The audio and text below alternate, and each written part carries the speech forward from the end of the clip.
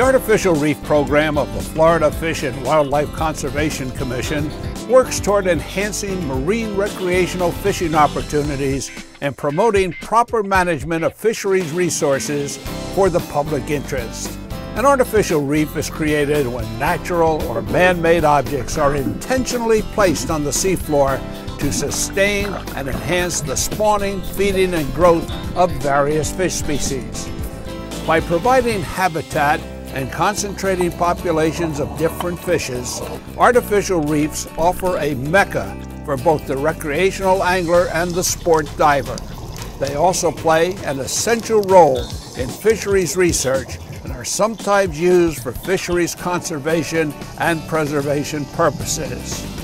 plus. With some 3,000 reef sites in state and federal waters off 34 coastal counties, Florida has one of the most active and successful reef programs in the nation. Everything from bridge rubble to specially designed concrete structures to retired naval and commercial vessels has been intentionally sunk in carefully selected locations. More than 1,000 of these artificial reef sites are used primarily for research, and the coordinates of their locations are not given to the public. Unlike other states where all permits for artificial reefs are held by marine fisheries management agencies, Florida's reef program represents a long-standing cooperative partnership with various coastal governments. Local coastal governments hold the permits and accept the liability for compliance with permit requirements. Their artificial reef coordinators team up with local fishing and diving interests to develop manage, and monitor artificial reefs in the area.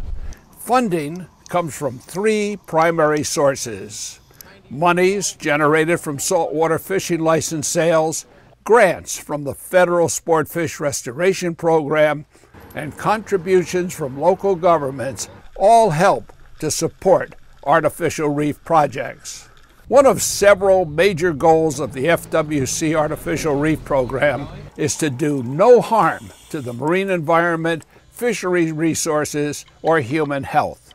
The reef program does not interfere with other traditional and acceptable uses of the marine environment. It does not create navigational hazards, nor does it damage other types of essential fish habitat. Its primary purpose focuses on supporting FWC's efforts to ensure sustainability of healthy fish and wildlife populations for their long term well being and benefit to the people. There are currently three allowable artificial reef materials categories in Florida. Designed prefabricated artificial reef modules are specifically engineered and assembled to meet life history and behavioral requirements of certain marine fish and invertebrates. These units are typically clean concrete or some form of steel, concrete, and limestone. A second category is locally quarried natural rock. And the third category involves materials originally used for an unrelated purpose. These include clean steel reinforced concrete bridge material, precast concrete structures, and heavy gauge steel materials. All three categories of reef materials must not harm human health or the marine environment and possess the stability and durability to remain in place at the assigned depth for at least 20 years without movement, including during severe storms. The FWC Artificial Reef Program is not one of dump and hope. Every artificial reef project offers specific and explicit methods of construction before funding is obtained. This professional approach is designed to use the best management practices based on the latest available science, reef monitoring, and assessment feedback. The project objective must be defined in the context of the acronym SMART, which stands for specific, manageable, achievable, relevant, and time bound. Reef site selection must include awareness of other human activity in the area, the existing subsurface ocean landscape, navigational clearance issues, and impacts on threatened and endangered species. The three main factors in reef placement are location, location, location. The reef manager must be aware of the types of substrate and seafloor communities in the vicinity, as well as the physical oceanographic factors such as sea temperature, currents, salinity, visibility, and so forth. When artificial reefs are designed and developed, there must be a means of monitoring the degree of success in the achievement of the original objectives. This is why monitoring of artificial reefs centers on compliance as well as performance. Artificial reefs constructed to serve fishing and diving enhancements with socio-economic benefits may not simultaneously be able to achieve the objective of fisheries conservation. However, creation of a popular fishing reef is also a legitimate goal. FWC promotes a professionally run, science-based artificial reef program with enough diversity to allow for the accomplishment of a number of different objectives. Through the use of unpublished and unpublicized reef sites where fishing pressure is minimal, scientists can find answers to managing both artificial and natural reefs. These unadvertised sites also help to conserve fish species and enable populations to expand. Behaviorally, reef species do not distinguish between natural and artificial reef structures. Artificial reefs often have higher quality and more complex or extensive habitat than some natural reefs, which tends to draw fish to them. Research shows that fish feeding in the water column above the reef, directly on the reef, or in habitat adjacent to the reef increase in size and weight. Constant monitoring shows that some species remain on a given artificial reef for years, while others will spend a time and then move to another location. Still others may leave a reef for a while and then return to spawn or for other reasons.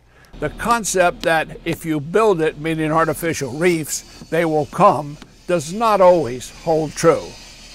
With all of the artificial reefs in state and nearby federal waters off the coast of Florida from a depth of a few feet to over 400 feet, they add up to less than 1% of the hard bottom and natural reefs in the area.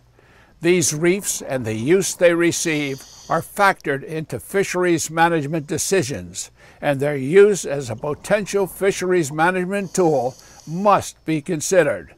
The success of artificial reefs is measured by the amount of valuable data they generate for fisheries managers, as well as what the reefs contribute to Florida's coastal fisheries. Florida's artificial reef program ranks as a rousing success and a pace-setting partnership with coastal agencies. It has enhanced the recreational fishing potential and provided unparalleled sport diving opportunities. Both of these benefits attract residents and visitors to our shores, making their experiences exciting and memorable. Coastal communities enjoy the economic rewards of having artificial reefs in their home waters.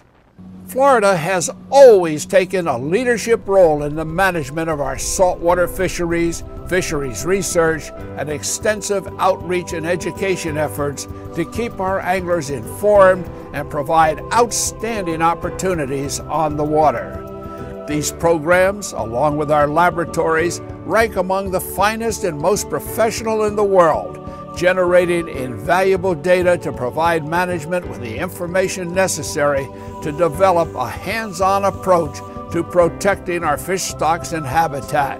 Because Florida is surrounded by oceans and boasts more than 500 native species of saltwater fish, this protective approach to fisheries management is crucial to the sustainability of marine resources.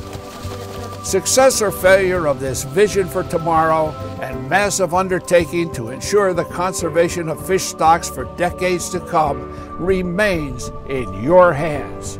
If each of us thinks about the future of Florida's fisheries, every day we're on the water and every time we catch a fish, tomorrow will be bright and everyone will be able to enjoy the fishing for years to come that has made Florida the fishing capital of the world.